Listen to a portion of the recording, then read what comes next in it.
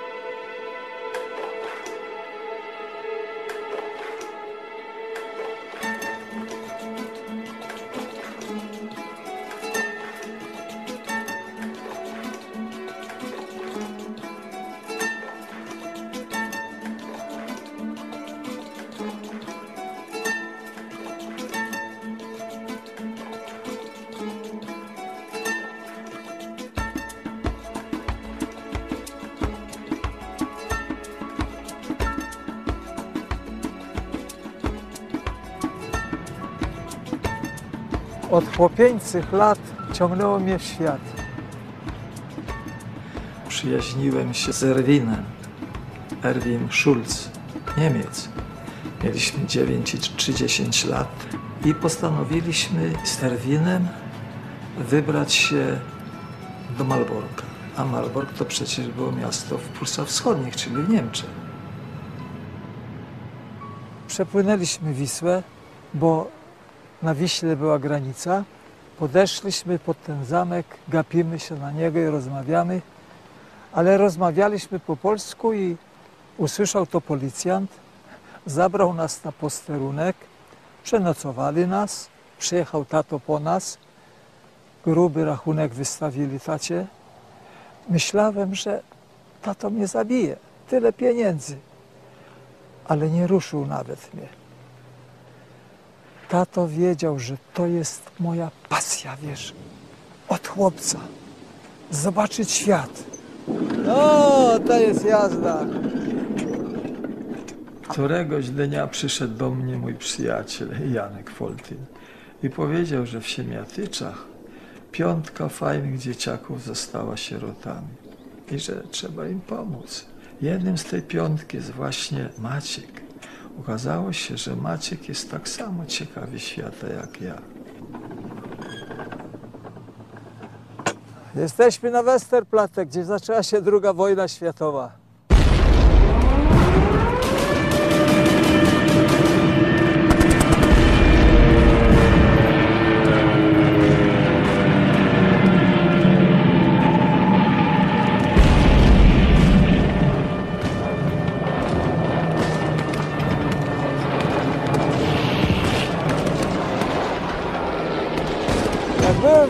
Wieku, byłem harcerzem.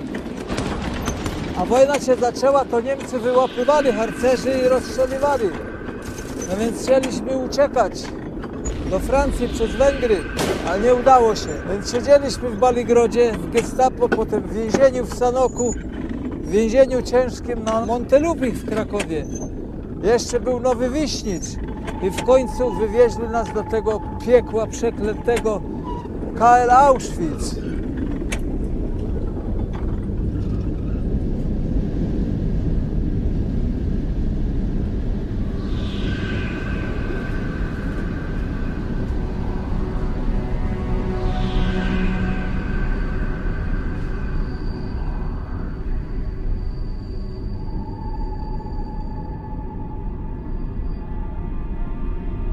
U mnie syndrom Auschwitz zapadł bardzo głęboko.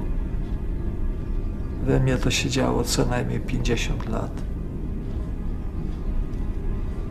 Ja po prostu e, cierpiałem w nocach. Ja miałem sny, ciągle gonią mnie sesmani, strzelają, psy mnie gryzą. Dopiero po 55 latach odważyłem się pierwszy raz przyjechać na teren obozu i dziś po 60 latach te wspomnienia wracają gwałtownie i e, trudno mi się z tym uporać.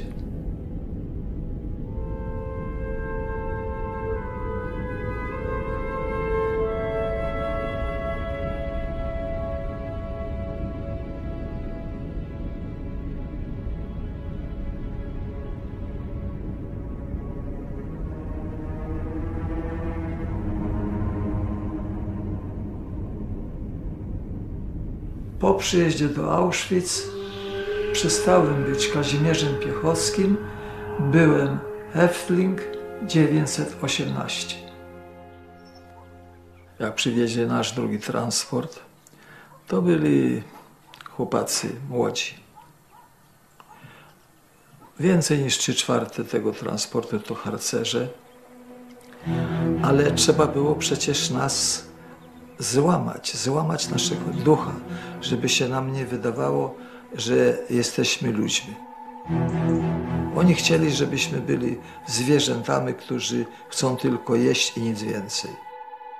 Głód wdzierał się w mózg. Z dnia na dzień byliśmy głodniejsi, z dnia na dzień byliśmy głodniejsi. Ten głód potem był ciągle w nas.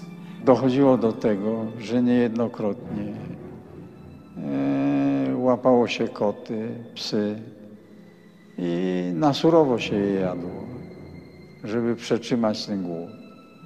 porcje, które myśmy otrzymywali, były bardzo małe. Każdy patrzył oczami, żeby jak najwięcej dostać w misce. Każdy patrzył, żeby ta pajtka była jak największa. Miska, zwykła blaszana miska. Ale jaki to był skarb. Ta miska służyła do wszystkiego. Miska do jedzenia, miska do mycia, miska do siusiania, jak trzeba było w nocy. Zgubić taką miskę to wielka tragedia, bo drugiej się nie dostało.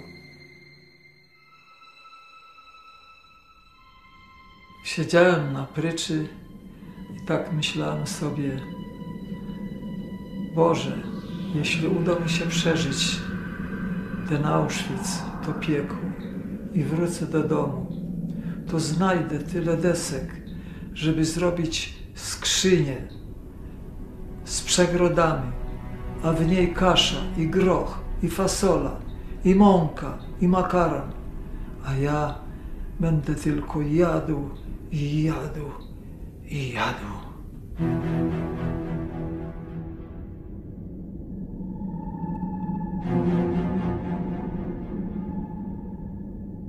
Prace były różne i komanda pracy były różne. Ci, którzy pracowali pod gołym niebem, no to były najgorsze warunki. Ciężka praca w mrozie, w deszczu, w śniegu, w błocie. I to wszystko stanowiło, że człowiek zwolna, zwolna e, tracił siły, Więzień, który jeszcze miał odrobinę świadomości, gdzie on jest i co on robi, proszę pana, musiał umieć oszczędzać swoje siły, żeby przeżyć do następnego dnia. Kiedy przy mnie nie ma kapa ani SS-mana, to właśnie ja pozoruję roboty i odpoczywam. A jak on tylko jest blisko, to ja udaję, że ja rwę się do pracy. Patrzcie, jak ja jestem dzielny. Taki kapo chyba sobie pomyślał, no tego nie muszę pilnować, on się sam wykończy. A jeśli ktoś tyrał, tyrał, bo od niego zażądają i on tyra, aż się zatyrał. I wtedy takiego przywoziliśmy w taczkach martwego. Najgorsze okresy to były, była jesień i wiosna. W tym okresie najwięcej więźniów umierało. Były przypadki, że na przykład więzień wiezie taczką kamienie, chce wyprostować plecy. No nie może po prostu dalej. Zauważa to SS-man. Woła go, daj nemycę, twoją czapkę, daj mi twoją czapkę. Zdejmuje więzień z głowy czapkę i daje SS-manowi i wie, że od tej chwili e, liczą się sekundy jego życia. Koniec jego życia. On to wie. SS-man rzuca daleko czapkę poza obręb pracy i mówi przynieś tą swoją czapkę. Więzień krok za krokiem idzie i czeka, kiedy padnie strzał. Strzał pada. Więzień leży. A SS-man dostaje trzy dni urlopu za uniemożliwienie ucieczki.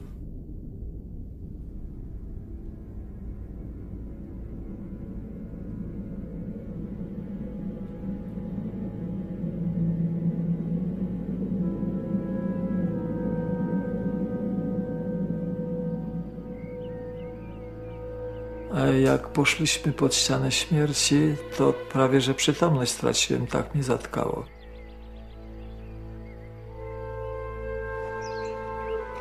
Przez te drzwi wyprowadzono więźniów pod ścianę śmierci.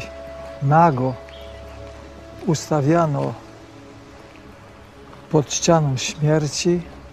Wtedy palicz, ten król zbrodni, z tyłu w potylicę rozstrzeliwał, a zwłoki rzucano w tym rogu i sterta trupów rosła.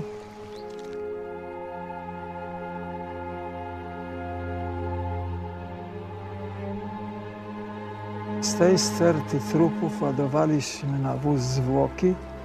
Byliśmy ustawieni i zorganizowani dwójkami. Ja za nogi, kolega mój za ręce i raz, i raz to musiało być szybko, bo ten palicz zbrodniarz doskakiwał, kopał, zawsze mu było wszystko za wolno. Kiedy już załadowaliśmy, znowu tor auf, bramę otwierać i truchcikiem wyjeżdżaliśmy przez bramę, skręcając w kierunku krematorium numer jeden. Dziś jeszcze, kiedy wspominam sobie pracę tu w tym piekle śmierci,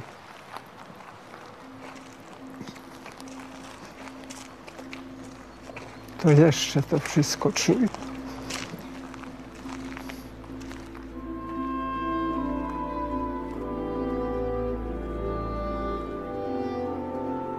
Byli ludzie, co się modlili. A proszę mi wierzyć, ja utraciłem wiarę w obozie, bo ja nie widziałem Boga. Jak Bóg mógł dopuścić do tego, żeby się działy takie straszne rzeczy?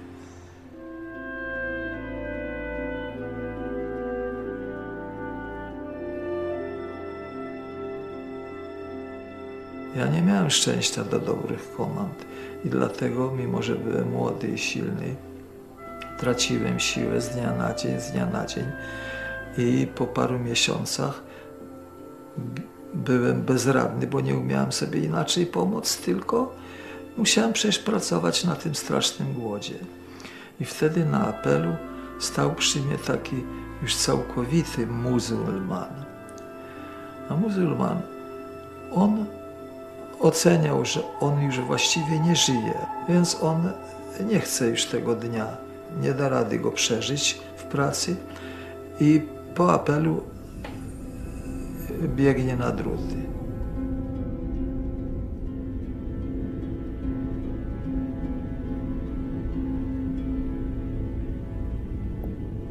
Ja wtedy pomyślałem sobie, ty będziesz takim muzułmanem, e, jeśli zwątpisz, weź się w garść. Z tej beznadziejnej sytuacji wyratował mnie Oto Kizel, kapo numer dwa, który przydzielił mnie do komanda pracującego pod dachem. Były to magazyny Hauptwirtschaftslager, w skrócie HWL. Znajdowały się niedaleko obozu, po drugiej stronie ulicy. Zaopatrywały formacje SS od Wrocławia do Dniepropetrowska. Bardzo długo mnie tu nie było, a kiedy się pojawiłem, jakimś dziwnym trafem, ktoś odnalazł na strychu w Oświęcimiu tajemniczą, bardzo zniszczoną rolkę fotograficzną, a na niej znajome twarze SS-manów z HWL-u. Ten grubas wysoki to, to Nowak. Polskie nazwisko, ale kawał drania.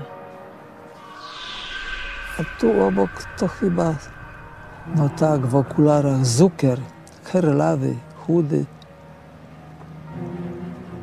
Pracowałem u niego, sprzątałem, buty czyściłem.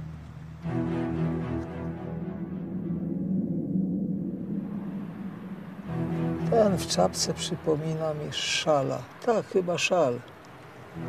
To pies, nie człowiek. Untersturmführer Szal. Kopał więźniarki, że nie mogły unieść bali słomy. To wygłupy pewnie pijani, czapki powykręcane, a nam naprawdę nie było do śmiechu. Młody Zaubersweig, arystokrata, laluś, ręce mył wodą mineralną, ale więźniami się nie interesował. A tu panowie esesmani bawią się, wożą się na taczkach. A ja woziłem na taczkach trupy z pracy na apel.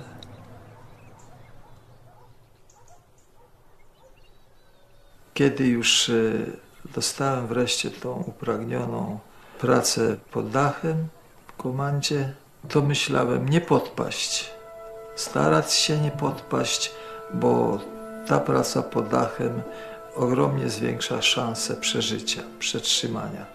Ale w końcu sytuacja się zmieniła, bo Genek Bendera, Ukrainiec, e, który pracował w garażach i warsztatach samochodowych należących do tego magazynu, ja się z nim zaprzyjaźniłem i on mi oświadczył, y, Kazek, mnie koledzy mówili, że ja jestem na liście do gazu albo na rozwałkę. Kaziek powiedział, czy można by było stąd uciec? Ty wiesz, ja mogę skombinować samochód, a to już jest coś.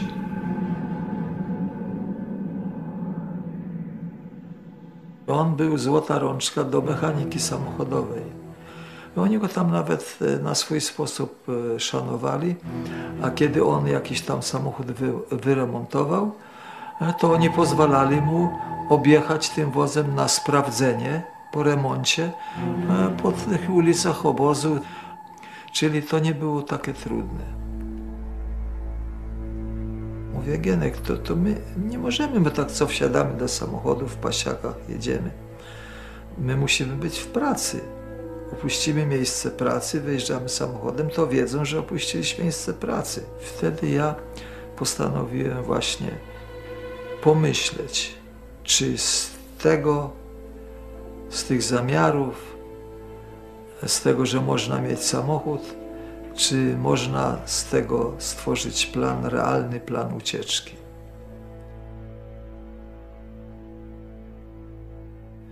Pracowałem na parterze, a kierownik tego parteru, Zucker, wysyłał mnie raz na tydzień do swego mieszkania. Tam musiałem sprzątać, pucować buty. I Genek o tym wiedział, więc zwrócił się do mnie, Kazek, ty mówiłeś, że tam sprzątasz u. Czy nie mógłbyś tam jego zlikwidować? Byłyby mundury. No ja kategorycznie zaprzeczyłem, że to jest absolutnie niemożliwe, ale on mówi, no ty się wahasz, oni nas mordują tu na setki tysięcy, a ty się wahasz jednego? E, Patrzyłem na Genka jak na człowieka niespełna rozumu. Ale kiedy po jakimś czasie Zucker wysłał mnie na drugie piętro po puste kartony, zauważyłem drzwi z napisem Bekleidungskammer. Bekleidungs to znaczy odzież, a odzież już u SS-manów to jest mundury. No ja kiedy tylko mogłem, to tam wpadałem na drugie piętro, ale było zamknięte, zamknięte, ale raz było, że drzwi były lekko otworzone. Niedługo ja myślę, za klamkę wchodzę, e, to co komputer wymyślił w głowie i mówię do tego SS-mana, który tam coś porządkował na półkach. Herr Rottenführer, Sie sollen Hauptsbüro kommen. Znaczy, panie sierżancie, pan ma e, zejść do głównego biura. Nikt go tam oczywiście nie wzywał, ale ja musiałem wchodząc coś mu powiedzieć, tylko to wpadło mi do głowy i to powiedziałem. On zeskoczył tam z jakiejś ławeczki, z której porządkował na, na, na półkach tam i zaczął mnie łomotać, kopać, bił mnie, ja się przewróciłem jeszcze i różne du Schweinpule, du Dieb i tak dalej, i tak dalej. Czy ty nie wiesz, głupcze, że tu nie wolno wchodzić wam? Ale przez ten czas, co on mnie okładał, to ja widziałem, co jest właściwie w tym magazynie. Tam było wszystko. Tam były mundury, Tam były buty, tam była broń, tam była amunicja, granaty, hełmy, dosłownie wszystko. Możemy więc mieć mundury i samochód. Została jeszcze jedna kwestia. Jak dostać się do HWL-u?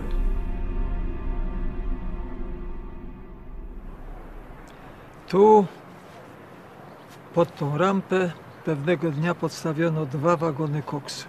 Musieliśmy ten koks wyładować i taczkami dowoziliśmy ten koks do koks bunkra. O, to właśnie ten włas. Środkowy włas. Tędy wrzucaliśmy ten koks. Zauważyłem, że klapa włazu zakręcana jest na śrubę.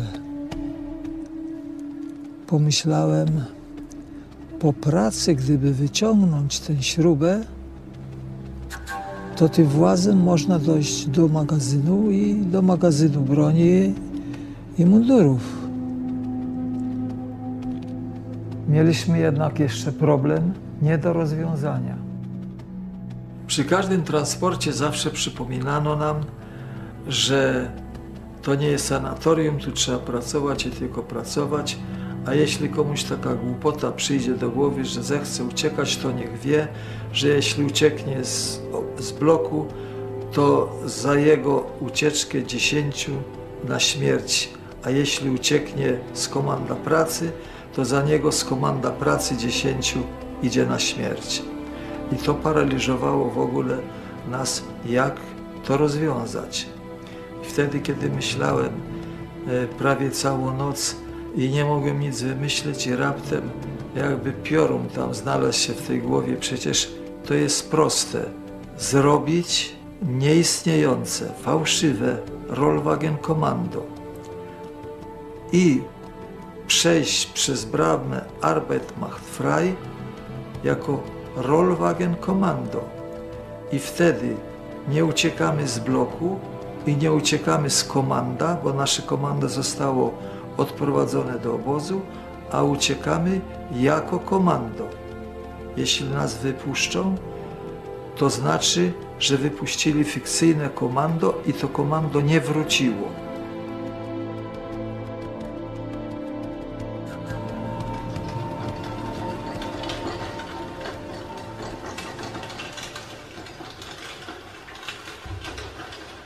Przy ciężkich rolwagach zaprzęg więźniów był i kilkanaście więźniów.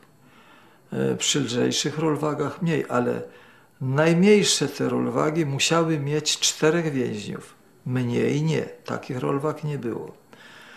Więc byliśmy z Genkiem, to jest nas dwóch, ale trzeba było teraz pomyśleć, żeby znaleźć, żeby była właśnie ta czwórka.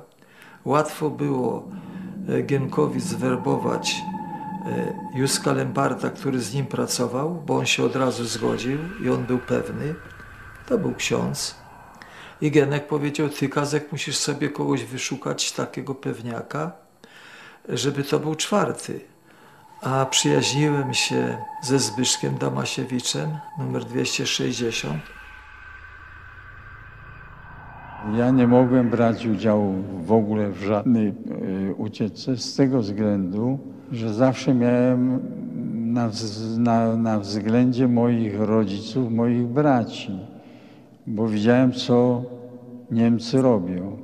Niemcy z chwilą y, ucieczki danego więźnia przyprowadzali całe rodziny do obozu.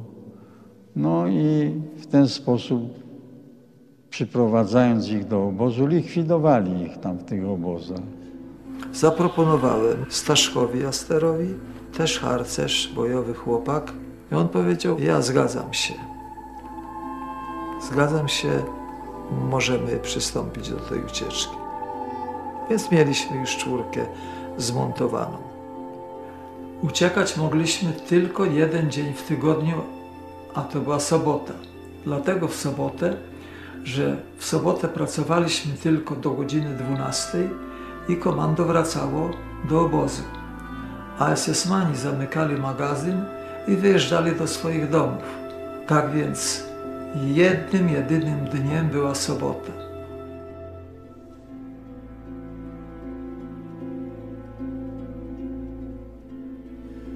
Nadszedł dzień planowanej ucieczki, 20 czerwca 1942 roku. Jest południe, zbieramy się do wyjścia z komandem do obozu wewnętrznego. Po wyfasowaniu zupy zbieramy się na niedokończonym bloku, na strychu. Genek robi odprawę, pyta Staszek, czy ty zrobiłeś bindę Forarbeitera dla kaska? Tak jest, mam ją przy sobie. Józek, bak full, tak jest, nalałem full i zapasowy jest karnister. A jeszcze było postanowienie, jeśli się nie uda, to nie robimy żadnej rozruby. Na terenie, póki jesteśmy obozu, w przypadku, kiedy się nie uda, likwidujemy samych siebie. Genek zaproponował parę minut przerwy. Wiedziałem po co. Żeby się połączyć z rodziną. Po paru minutach, dobra chłopy, uda się, idziemy. Wychodzimy ze strychu, zabieramy wóz, który stał za kuchnią. Na wozie jakieś obierki kartoflane, jakieś zmięte kartony były. Dopasujemy się do wozu i jedziemy pod bramę Arbeit macht frei. Melduję wyjście i wiem, że każde komando pracy jest w księdze. Nasze jest fałszywe. Zajrzy SS-man do księgi, czy nie zajrzy, ale wierzymy, mocno w to wierzymy, że nie zajrzy.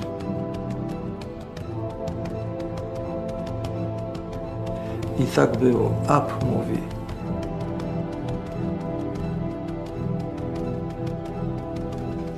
Jedziemy.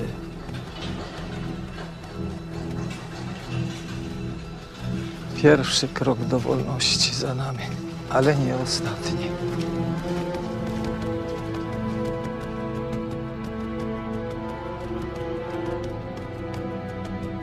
Tą drogą jechaliśmy rulwagą. Potem skręciliśmy w tą dróżkę i tu zostawiliśmy wóz. Wszyscy w czwórkę poszliśmy z Genkiem do garaży. Genek przy odrobionym kluczem otworzył garaż. Wpadliśmy do garażu. Genek pokazał na samochód. Tym będziemy uciekać. Tu stały dwa wyładowane wagony. Postawiliśmy Staszka tu, żeby pilnował, co się dzieje od strony obozu, a z Józkiem poszliśmy do klapy i chcemy ją otworzyć. Ale nie idzie. Jeszcze raz próbujemy, jak przyspawana. Kiwnąłem na Staszka, przyskoczył Staszek, jeszcze włożył swoje paluchy tu jakoś i dźwignął. Otworzyliśmy. Wpadamy po kolei na ten koks. Ostatni Staszek zamknął za sobą klapę. Byliśmy w bunkrze. Wreszcie jesteśmy w koks bunkrze. Ale nigdy byśmy tu nie byli, gdybym ja, kiedy przed południem rozgarniałem tu koks łopatą, nie wykręcił śruby z klapy włazu. Tędy przejście do kotłowni. Tak, jest kotłownia.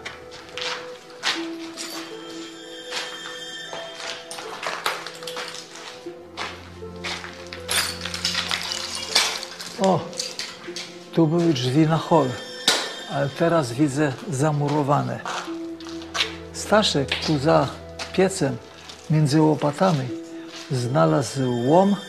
Tym łomem wyważyliśmy te drzwi i weszliśmy na hol.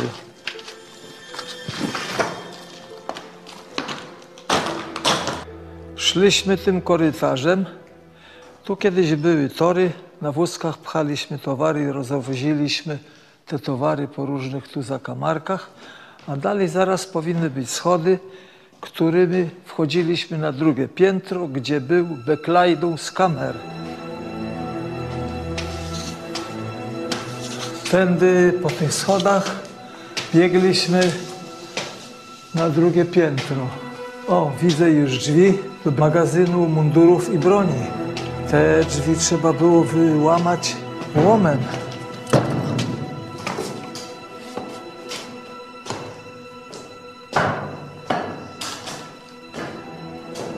Szybciutko dobieraliśmy wszystko, co należało ubrać. Na końcu mundury i dla mnie wyszukał Józek mundur Untersturmführera. Dwa hełmy, potem broń, a w końcu amunicję. Schodzimy z tym wszystkim na dół do rampy samochodowej. W mundurach w pełnym uzbrojeniu schodzimy na rampę samochodową i nagle słyszymy warkot samochodu.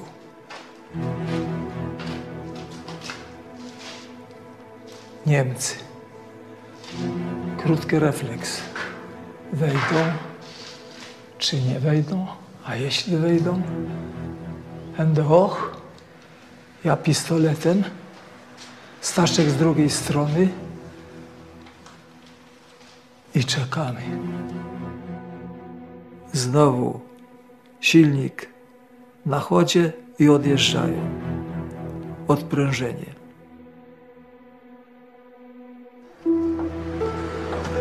Wyszedłem na rampę. Tam jakieś 60 metrów za drogą.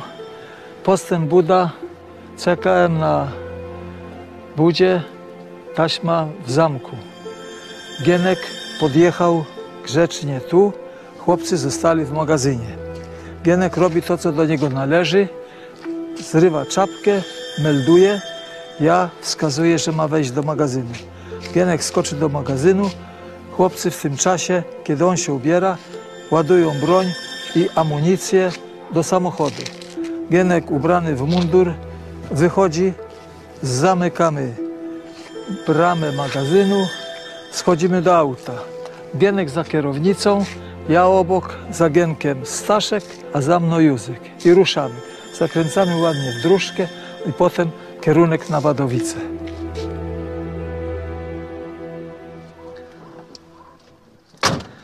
Zbyszku, nie chciałeś ze mną uciekać 60 lat temu z tego piekła, to teraz pojedziesz ze mną szlakiem naszej ucieczki.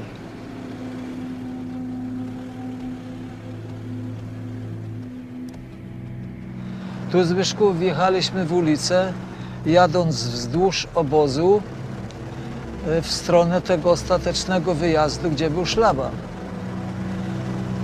Po drodze tu już blisko to spotkaliśmy pierwszego SS-mana.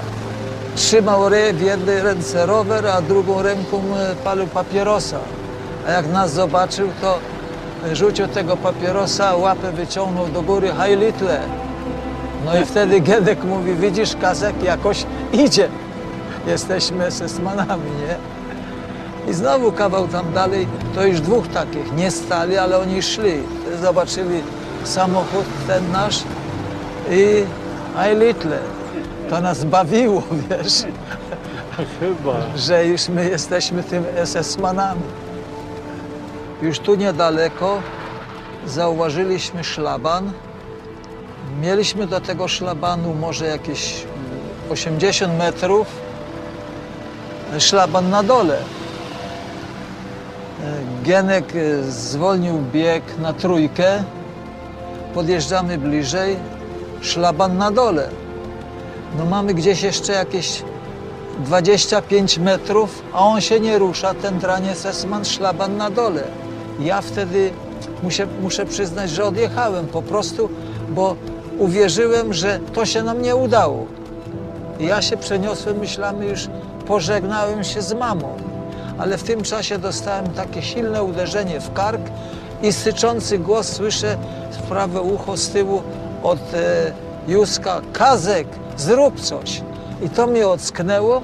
Ja już widzę blisko ten szlaban, otwieram prawe drzwiczki, wystawiam, żeby widzieli szarże, wiesz, I mówię, do jasnej cholery śpisz dupku tam czy co? Otwieraj ten szlaban, bo ja ciebie obudzę, jeśli ty nie możesz się obudzić. Ten esesman podskoczył, szlaban idzie do góry, Gienek bieg włącza do przodu i suniemy naprzód.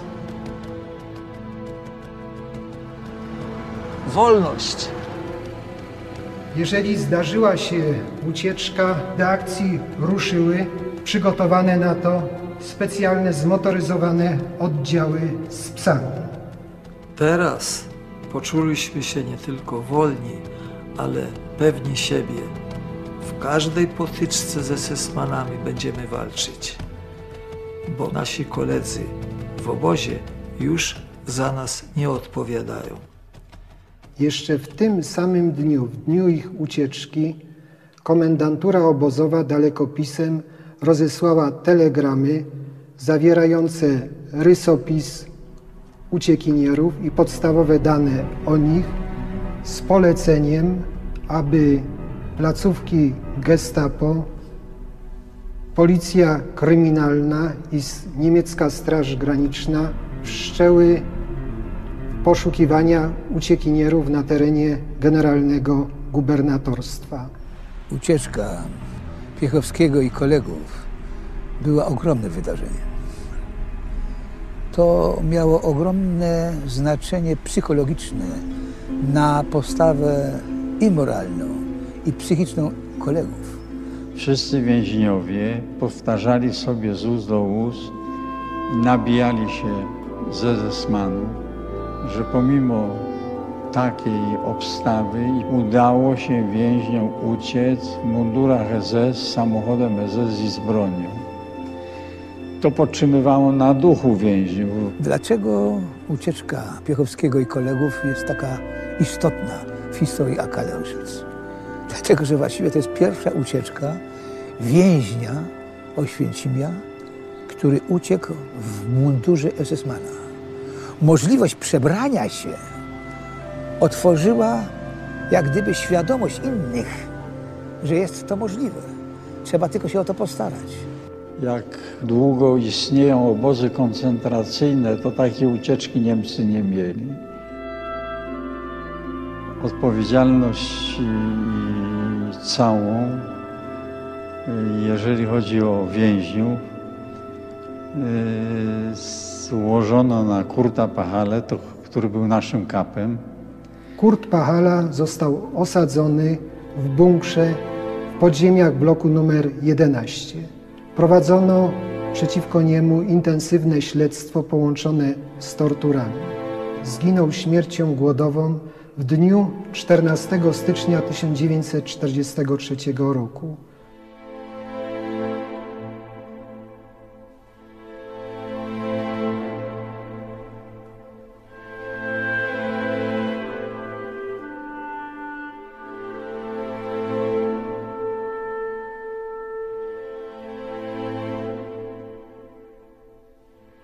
Czy można zapomnieć o Auschwitz? On nie może zapomnieć o tym, on nie potrafi zapomnieć o tym. Ja jestem z nim w dzień i w nocy, szczególnie w nocy, kiedy on wbrew sobie jest znowu w Auschwitz. Budzi mnie jego płacz, szloch czasem łkanie jak bezradnego dziecka. Krzyczy, kopie, zaciska dłonie. I tak jest często. Ja go przytulam, głaszczę, budzę, żeby przerwać ten straszny sen, bo wiem, że się męczy.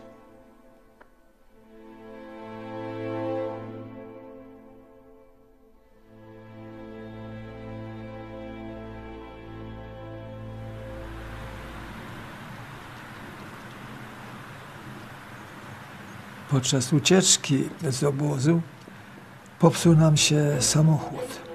Dalej musieliśmy iść na piechotę. Cały czas Niemcy deptali nam po piętach. Józek Lempart zachorował, i musieliśmy go zostawić gdzieś na plebanii u księdza. Staszek Jaster wrócił do swojej ukochanej Warszawy.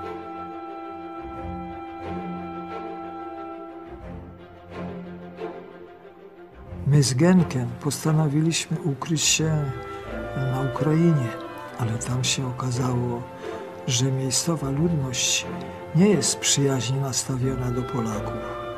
Zdecydowaliśmy się zawrócić do znajomych Gienka, którzy byli właścicielami młyna we wsi Lasek na Kieleszczyźnie.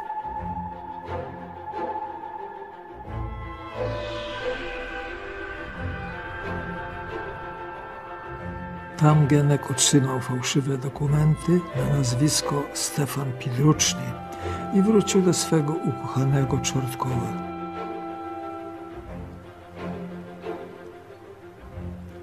A ja pod nazwiskiem Władysław Sikora zacząłem pracować w gospodarstwie pana Nikodema Nowakowskiego we wsi Mnin, 12 km od Lasku. Córka Krysia skontaktowała mnie z partyzantką Armii Krajowej, do której wstąpiłem i walczyłem do końca wojny.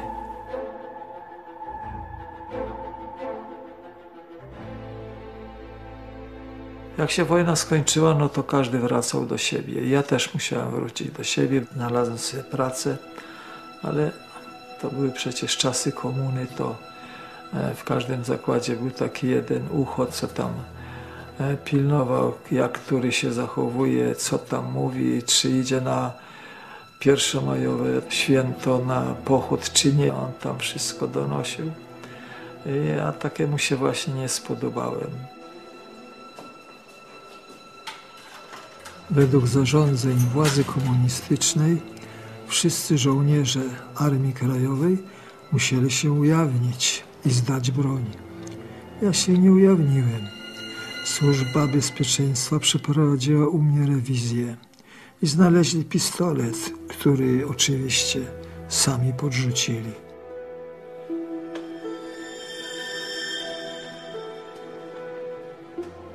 Za nieujawnienie, a jeszcze pistolet bez zezwolenia z amunicją, no to nie było wesoło, bo ja już wiedziałem, że dostawali nasi jakowcy piętnachę, dostawali dożywocie, dostawali czapę tak zwaną, ale mnie potraktowali bardzo łagodnie i dali mi tylko 10.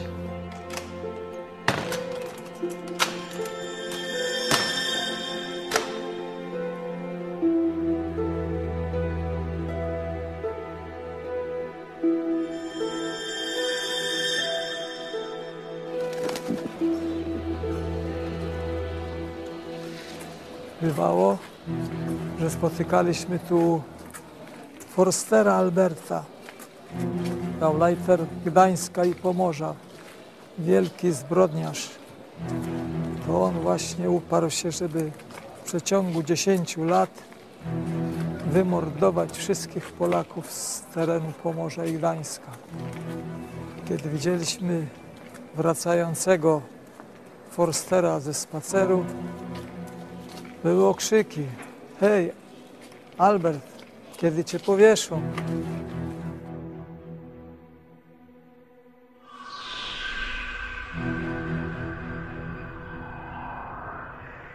W więzieniu było głodno, ale najgorsza to cierpienie psychiczne. Każdy dzień ten sam, każdy następny dzień.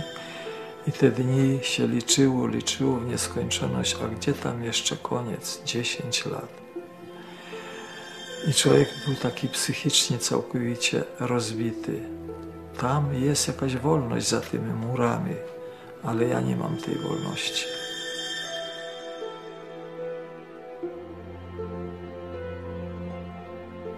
Po wyjściu z więzienia zrozumiałem, że tak naprawdę to ja nie miałem życia młodego, bo całą moją młodość zżarli wpierw Niemcy, a potem nasi kochani czerwoni.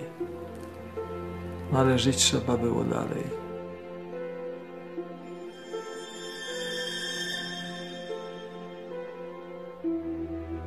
Całe swoje życie przepracowałem w przemyśle okrętowym. Tu w tej stoczni zacząłem pracę. Pracowałem e, sumiennie i wydajnie, ale ciągle się bałem, bo byłem trefny, niebezpieczny dla ustroju. I dlatego ja musiałem nadrabiać, musiałem się wykazać. Jak trzeba było dźwigać chorągiew, to ja ją dźwigałem. Jak trzeba było stanąć w szeregu na pochód pierwszomajowy, to ja stawałem. Bałem się, bo byłem trefny.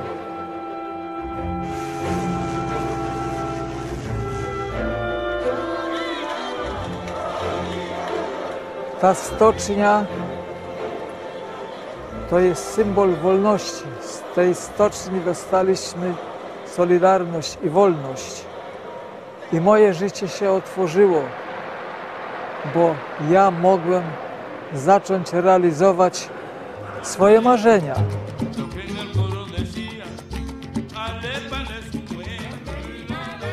Moje, moje. No widzisz, jakie ładne.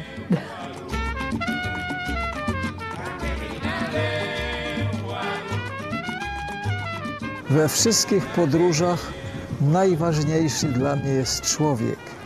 Każdy człowiek pragnie wolności, pragnie poznania świata, ale tu na Kubie ludzie, trzeba przyznać, nie są wolni. I to boli. Podróżnika, który tu przyjeżdża, to boli, że nie może pomóc tym ludziom. Ale przede wszystkim chcą kontaktu, chcą kontaktu. Tu spotykałem na przykład siedzącego na progu e, Kubańczyka, staruszka. Przysiadłem do niego, e, da, wręczyłem mu e, ich monetę kubańską, ścisnął to w garści jako wielki majątek, a mnie uścisnął dłoń. W tym uścisku było wszystko. Wszystko, co on mógł mi dać, to dał mi tym uściskiem. E, Widziałem fryzjera, który nie opuszczał rąk, ale przed domem miał kawałek lusterka na ścianie, krzesełko i to był fryzjer. Widziałem szewca, to niby biedny człowiek, a był przecież nie byle kim. To człowiek, który studiował na Węgrzech i cieszył się pokazując marny stolik, że this is my job, to jest moja praca.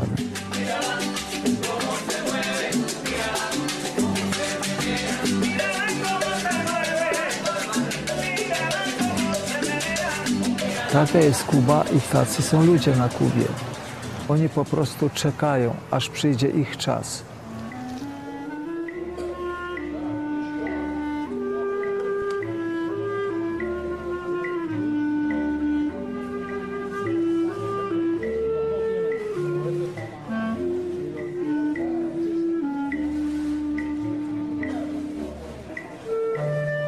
Pamiętasz, Kazik, jak było dawniej? Jak nie mieliśmy pieniążków i nie można było otrzymać paszportu, to wieczorkami wyciągaliśmy mapę, przewodniki i podróżowaliśmy. Wyobraźnie. Pamiętam. A potem los się do nas uśmiechnął i mogliśmy zacząć podróżować naprawdę. Tak było.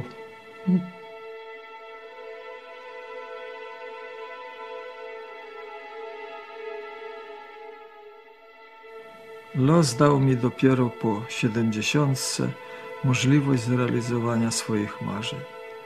Musiałem czekać aż 70 lat na ten moment. Wtedy, kiedy człowiek był w pełni sił i mocno ciekawy świata, nie mógł podróżować. Lecz kiedy jest już stary i chciałby odpocząć, los drwi sobie z niego i daje mu możliwość. Przyjąłem to wyzwanie i potraktowałem je jako szansę nadrobienia straconego czasu. Uważam, że jeśli człowiek bardzo o czymś marzy, to marzenie prędzej czy później się spełni.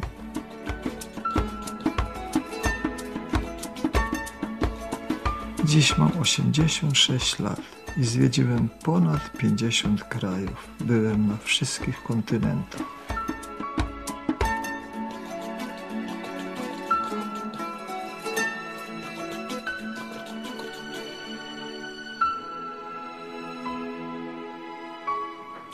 Kazik, gdzie my się w tym roku wybierzemy?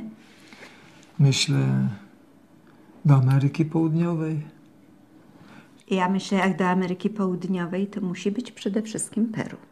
Byśmy polecieli do Limy i z Limy tu najważniejsza jest sprawa Machu Picchu A to jest Cusco. gwóźdź programu. i jezioro Titicaca. No Titicaca, jezioro, na którym mieszkają Indianie na wodzie, to jest...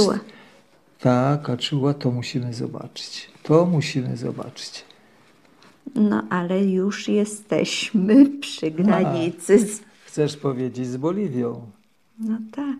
A La Paz? Ale zawsze, Iguniu, e, kiedy wyruszamy na inne kontynenty, to już nie siedzimy w jednym kraju. A kiedy już będziemy na północy Peru, to No, wiesz, tak nie darowałbym mówię. sobie, Iguś, żeby nie polecieć do Ekwadoru. I co? Ja już wiem, co myślisz. O moich marzeniach. Wyspy Galapagos. Na I tam jachtem trochę się... Na Galapagos. A moje marzenie? Wyspa Wielkanocna. Wiem, skarbie, wiem. Ale Popatrz, tu pomyśl, jest. Iguniu, z czegoś jednak trzeba zrezygnować. Wiem, że ty marzysz o Wyspie Wielkanocnej, ale pomyśl, 6-7 tygodni w podróży. Nie możemy. Nie możemy tyle. Nie, bo sił zabraknie.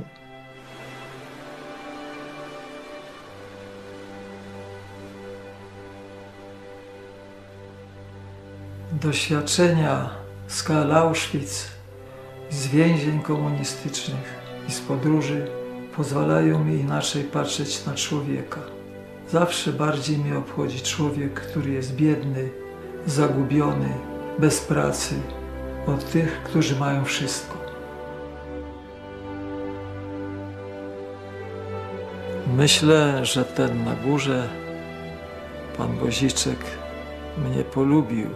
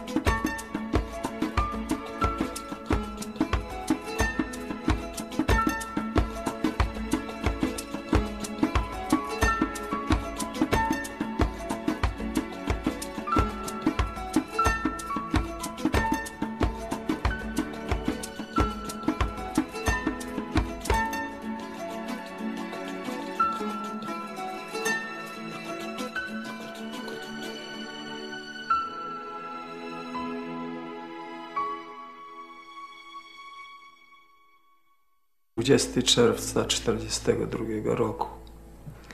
Jest południe, zbieramy się do wyjścia z komandem do obozu wewnętrznego.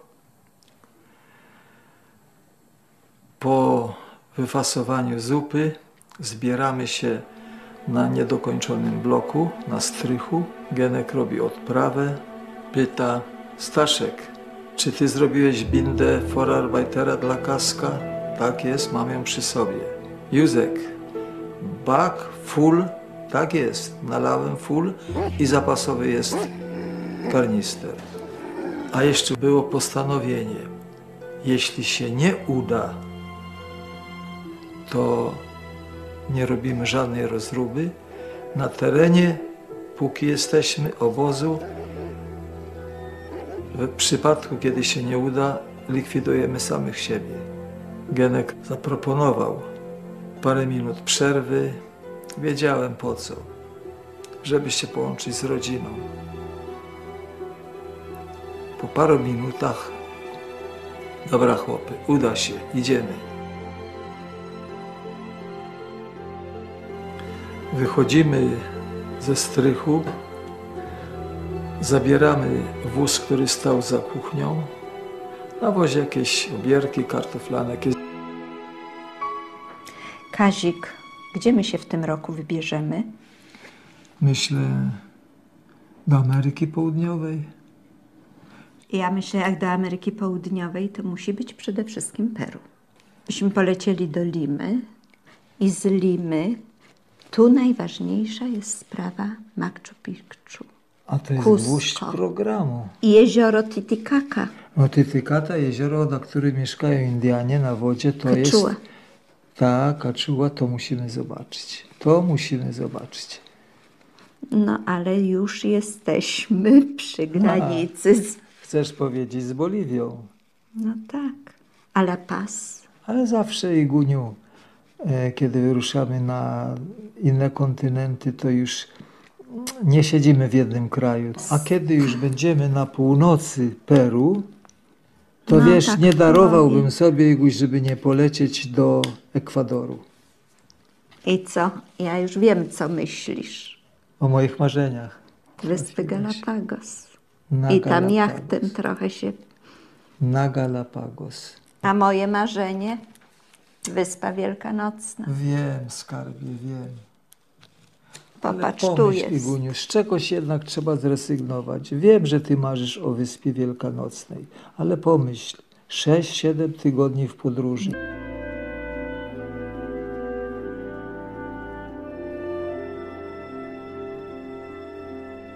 Ja nie miałem szczęścia do dobrych komand i dlatego, mimo że byłem młody i silny, traciłem siłę z dnia na dzień, z dnia na dzień i po paru miesiącach byłem bezradny, bo nie umiałem sobie inaczej pomóc, tylko musiałem przecież pracować na tym strasznym głodzie. I wtedy na apelu stał przy mnie taki już całkowity muzułman. A muzułman, on oceniał, że on już właściwie nie żyje, więc on nie chce już tego dnia, nie da rady go przeżyć w pracy i po apelu biegnie na druty.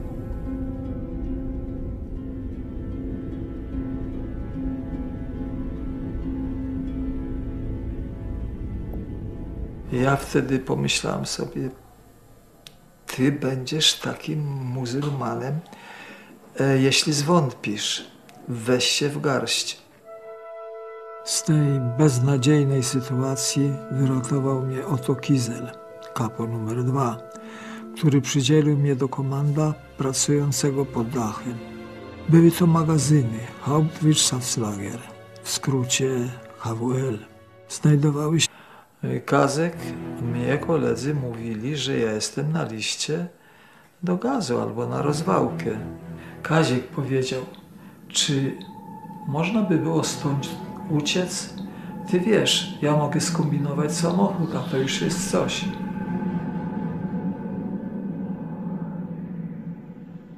On był złota rączka do mechaniki samochodowej. Oni go tam nawet e, na swój sposób e, szanowali, a kiedy on jakiś tam samochód wy, wyremontował, e, to oni pozwalali mu objechać tym wozem na sprawdzenie po remoncie po tych ulicach obozu. Czyli to nie było takie trudne. Mówię, Gienek, to, to my nie możemy, my tak co wsiadamy do samochodu, w pasiakach jedziemy. My musimy być w pracy. Opuścimy miejsce pracy, wyjeżdżamy samochodem, to wiedzą, że opuściliśmy miejsce pracy. Wtedy ja postanowiłem właśnie pomyśleć, czy z tego, z tych zamiarów, z tego, że można mieć samochód, czy można z tego stworzyć plan, realny plan ucieczki.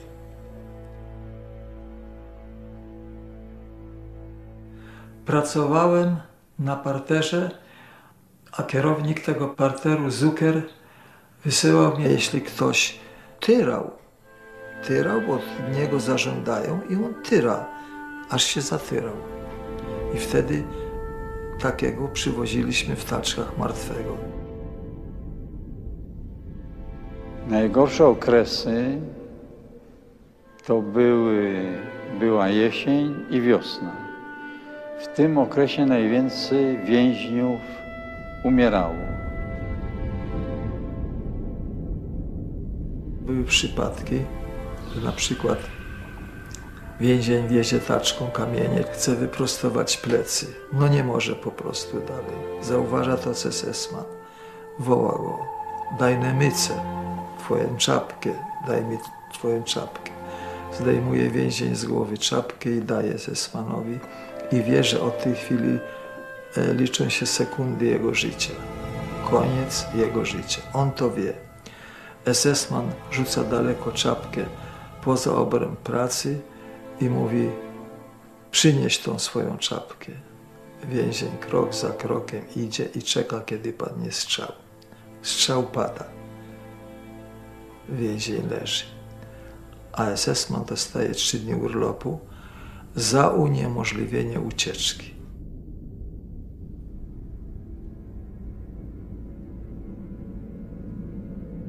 Nie odpowiadają. Jeszcze w tym samym dniu, w dniu ich ucieczki, komendantura obozowa dalekopisem rozesłała telegramy zawierające rysopis uciekinierów i podstawowe dane o nich z poleceniem, aby placówki Gestapo, Policja Kryminalna i niemiecka Straż Graniczna wszczęły poszukiwania uciekinierów na terenie generalnego gubernatorstwa. Ucieczka Piechowskiego i kolegów była ogromnym wydarzeniem. To miało ogromne znaczenie psychologiczne na postawę i moralną, i psychiczną kolegów. Wszyscy więźniowie powtarzali sobie z ust do ust i nabijali się z SS-manów, że pomimo takiej obstawy udało się więźniom uciec w mundurach SS, samochodem SS i z bronią. To podtrzymywało na duchu więźniów. Dlaczego ucieczka Piechowskiego i kolegów jest taka istotna w historii AK Auschwitz? Dlatego, że właściwie to jest pierwsza ucieczka więźnia Oświęcimia, który uciekł w mundurze SS-mana. Możliwość prze... jego. On to wie. SS-man rzuca daleko czapkę poza obręb pracy i mówi przynieś tą swoją czapkę. Więzień krok za krokiem idzie i czeka, kiedy padnie strzał. Strzał pada. Więzień leży. A SS-man dostaje trzy dni urlopu za uniemożliwienie ucieczki.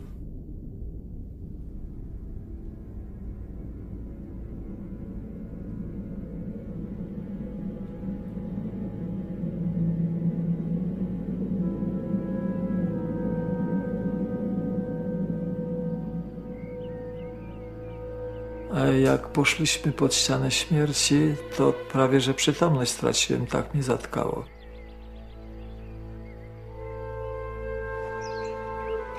Przez te drzwi wyprowadzono więźniów pod ścianę śmierci.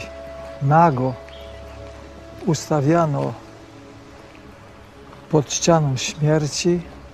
Wtedy Palicz, ten król zbrodni, z tyłu w potylicę rozstrzeliwał, a zwłoki rzucano w tym rogu i sterta trupów rosła.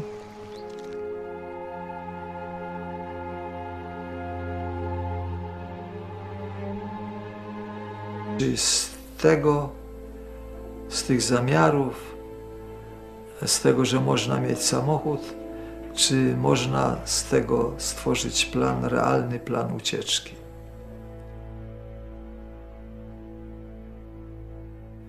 Pracowałem na parterze, a kierownik tego parteru, Zucker, wysyłał mnie raz na tydzień do swego mieszkania. Tam musiałem sprzątać, pucować buty. I Gienek o tym wiedział, więc zwrócił się do mnie. Kazek, ty mówiłeś, że tam sprzątasz u Zuckera. Czy nie mógłbyś tam jego zlikwidować? Byłyby mundury. No ja kategorycznie zaprzeczyłem, że to jest absolutnie niemożliwe, ale on mówi, no ty się wahasz, oni nas mordują tu na setki tysięcy, a ty się wahasz jednego? E, Patrzyłem na Genka jak na człowieka niespełna rozumu. Ale kiedy po jakimś czasie Zucker wysłał mnie na drugie piętro po puste kartony, zauważyłem drzwi z napisem Bekleidungskammer. Bekleidungs to znaczy odzież, a odzież już u SS-manów to jest mundury. No ja kiedy tylko mogłem, to tam wpadałem na drugie piętro, ale było zamknięte, zamknięte, ale raz było, że drzwi były lekko... Było wszystko. Wszystko, co on mógł mi dać, to dał mi tym uściskiem. E, Widziałem fryzjera, który nie opuszczał rąk, ale przed domem miał kawałek lusterka na ścianie, krzesełko i to był fryzjer. Widziałem szewca, to niby biedny człowiek, a był przecież nie byle kim. To człowiek, który studiował na Węgrzech i cieszył się pokazując marny stolik, że this is my job, to jest moja praca.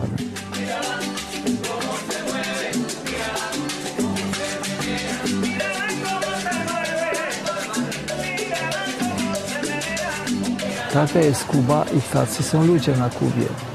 Oni po prostu czekają, aż przyjdzie ich czas.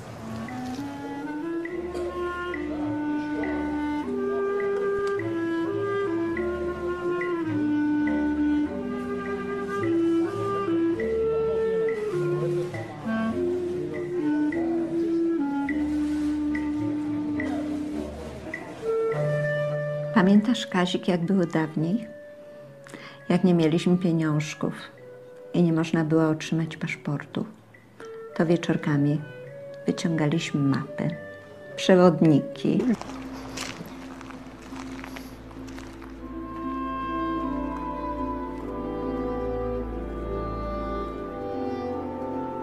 Byli ludzie, co się modlili. A proszę mi wierzyć, ja utraciłem wiarę w Bogoś, bo ja nie widziałem Boga. Jak Bóg mógł dopuścić do tego, żeby się działy takie straszne rzeczy?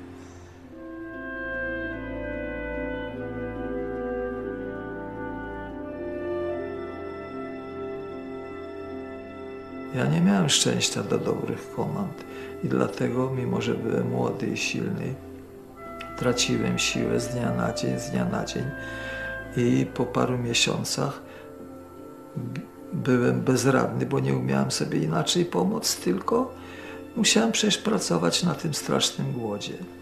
I wtedy na apelu stał przy mnie taki już całkowity muzułman. A muzułman, on oceniał, że on już właściwie nie żyje, więc on nie chce już tego dnia, nie da rady go przeżyć w pracy i po apelu biegnie na druty.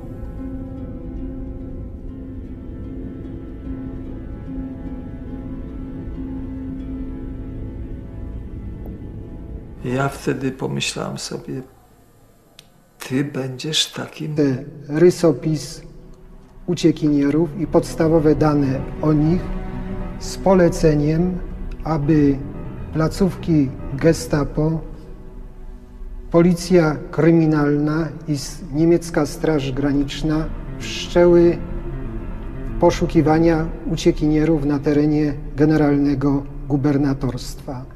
Ucieczka Piechowskiego i kolegów była ogromnym wydarzeniem. To miało ogromne znaczenie psychologiczne na postawę i moralną, i psychiczną kolegów.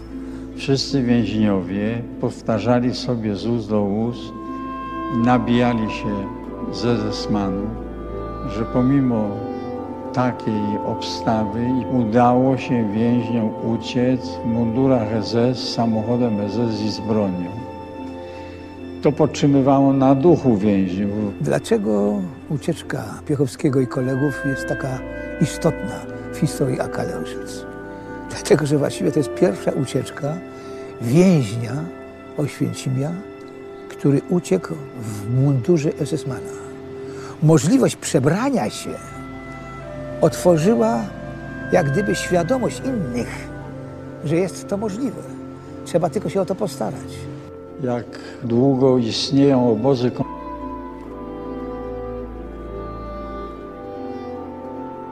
Byli ludzie, co się modlili. A proszę mi wierzyć, ja utraciłem wiarę w obozie, bo ja nie widziałem Boga. Jak Bóg mógł dopuścić do tego, żeby się działy takie straszne rzeczy?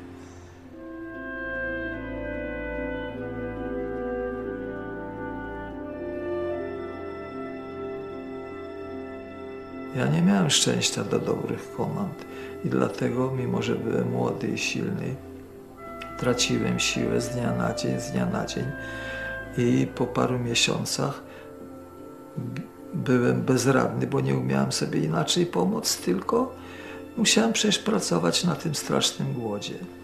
I wtedy na apelu stał przy mnie taki już całkowity muzułman.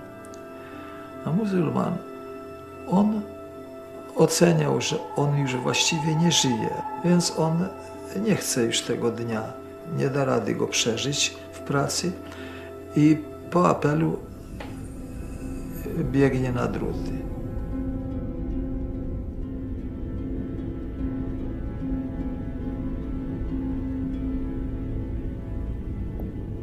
Ja wtedy pomyślałem sobie, ty będziesz takim muzułmanem, Jeśli zwątpisz, weź się w garb.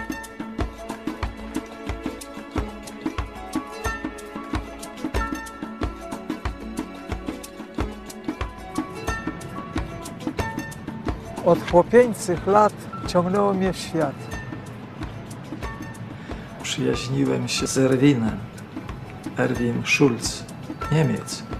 Mieliśmy 9 czy 10 lat i postanowiliśmy z Erwinem wybrać się do Malborka. A Malbork to przecież było miasto w Prusach Wschodnich, czyli w Niemczech. Przepłynęliśmy Wisłę, bo na Wiśle była granica. Podeszliśmy pod ten zamek, gapimy się na niego i rozmawiamy, ale rozmawialiśmy po polsku i usłyszał to policjant, zabrał nas na posterunek, przenocowali nas, przyjechał tato po nas, gruby rachunek wystawili tacie. Myślałem, że tato mnie zabije, tyle pieniędzy, ale nie ruszył nawet mnie. Tato wiedział, że to jest moja pasja, wiesz, od chłopca. Zobaczyć świat. No, to jest jazda. Któregoś dnia przyszedł do mnie mój przyjaciel Janek Foltyn i powiedział, że w Siemiatyczach piątka fajnych dzieciaków Jechał grzecznie tu, chłopcy zostali w magazynie. Gienek robi to, co do niego należy, zrywa czapkę, melduje, ja wskazuję, że ma wejść do magazynu. Gienek skoczy do magazynu, chłopcy w tym czasie, kiedy on się ubiera, ładują broń i amunicję do samochodu. Gienek ubrany w mundur wychodzi zamykamy bramę magazynu, schodzimy do auta. Bienek za kierownicą, ja obok, za Gienkiem Staszek, a za mną Józek. I ruszamy. Zakręcamy ładnie w dróżkę i potem kierunek na Wadowice.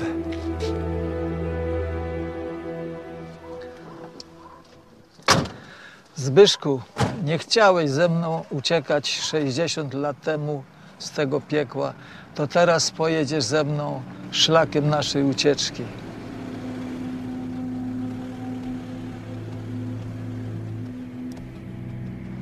Tu Zbyszku wjechaliśmy w ulicę, jadąc wzdłuż obozu e, w stronę tego ostatecznego wyjazdu, gdzie był szlaban. E,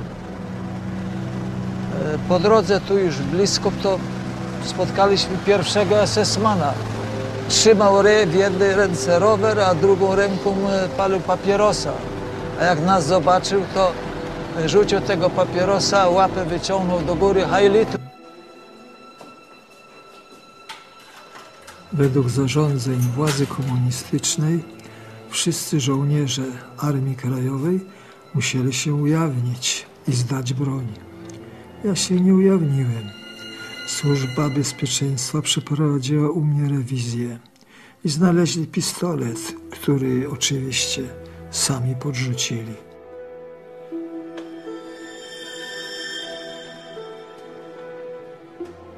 Za nieujawnienie, a jeszcze pistolet bez zezwolenia z amunicją, no to nie było wesoło, bo ja już wiedziałem, że dostawali nasi jakowcy piętnachę, dostawali dożywocie, dostawali czapę tak zwaną, ale mnie potraktowali bardzo łagodnie i dali mi tylko 10.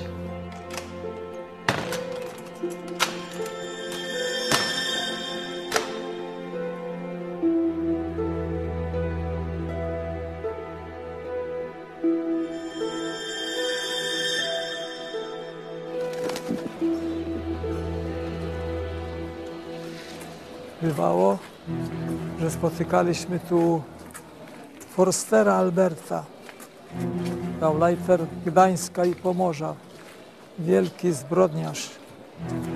To on właśnie uparł się, żeby w przeciągu 10 lat